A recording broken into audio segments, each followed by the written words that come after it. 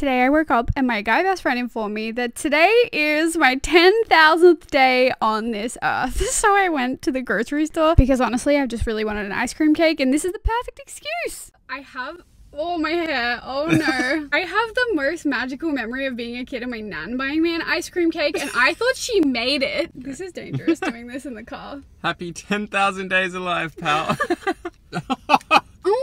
For 15 bucks, that's kind of a bargain. That's so so good. yummy. There's like some chocolate down here. I gotta get whatever this chocolate is over here. oh, I got one here too. Oh, no, I know. The thing's sliding off the plate.